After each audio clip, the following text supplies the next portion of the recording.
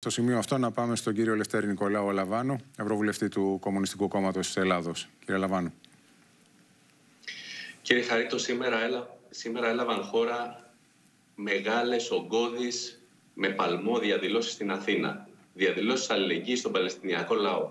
Σήμερα νομίζω ένα είναι το αίτημα, το πάνδημο του ελληνικού λαού και αυτό είναι να σταματήσει τώρα το Ισραηλινό σφαγείο στη Γάζα, το οποίο μέχρι στιγμής έχει κοστίσει πάνω από 3.500 θύματα, πάνω από χίλια παιδιά έχουν χάσει τη ζωή τους σύμφωνα με τα τελευταία στοιχεία. Και βεβαίως σε αυτό το, το σφαγείο να μην υπάρξει καμία εμπλοκή της χώρας μας, της Ελλάδας, η οποία όπως πολύ καλά γνωρίζετε εδώ και μέρες έχει στείλει ε, φρεγάτα, τη φρεγάτα ψαρά στο στρατιωτικό σχηματισμό που συνοδεύει τα αμερικανικά αεροπλανοφόρα, όπως ακούσαμε και από τη συζήτηση πριν, τίθεται στο τραπέζι η πιθανότητα της εμπλοκής αυτού του στρατιωτικού σχηματισμού σε περίπτωση που γενικευτεί ο πόλεμος στην περιοχή, κάτι το οποίο φαίνεται ότι είναι, ε, είναι μια πιθανότητα αυτή τη στιγμή.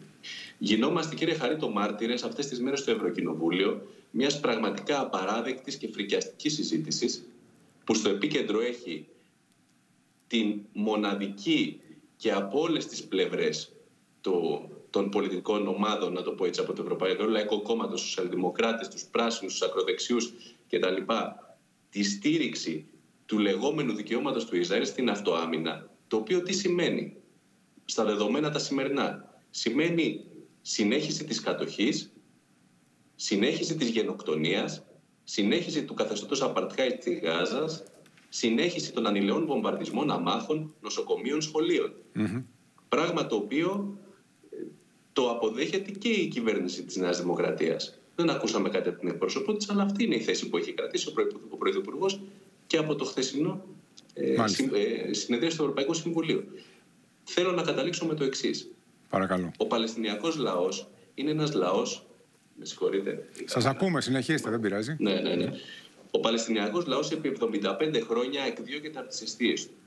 Βομβαρδίζεται, δολοφονείται, φυλακίζεται, υποφέρει. Η αντίσταση του Παλαιστινιακού λαού και ο αγώνας τους είναι ένας δίκαιος αγώνας. Γιατί; Γιατί παλεύει για το τέλος της κατοχής, για ελεύθερη πατρίδα, για ανεξάρτητο κράτος, για την Επιτροπή των Προσφύγων στις Αιστείες, για την απελευθέρωση των πολιτικών κρατουμένων. Την ίδια στιγμή ο ελληνικός λαός έχει διαλέξει πλευρά. Αυτή είναι η πλευρά. Είναι η πλευρά με την Παλαιστινική αντίσταση. Πλευρά έχει διαλέξει και η Ευρωπαϊκή Ένωση και η ελληνική κυβέρνηση, που πολιτικά, οικονομικά, στρατιωτικά στηρίζουν το Ισραήλ με κάθε μέσο. 60 εκατομμύρια είναι τα προγράμματα, τα στρατιωτικά που παραχωρεί η Ευρωπαϊκή Ένωση σε εταιρείες Ισραηλινές. Πάνω από 200 εκατομμύρια εμπόριο με αυτό, Ευρωπαϊκής Ένωσης με το Ισραήλ.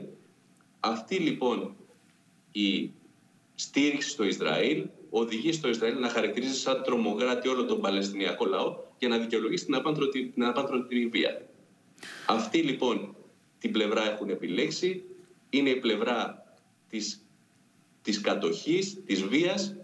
Η ιστορία τους έχει κρίνει, όπως τους έχουν κρίνει και οι λαοί όλες τις Ευρώπης που βγαίνουν στους δρόμους για να υποστηρίξουν τον Παλαιστινιακό λαό. Να ευχαριστήσω θερμά και τον κύριο Αλαβάνο για την παρέμβασή του από τις ε, Βρυξέλλες.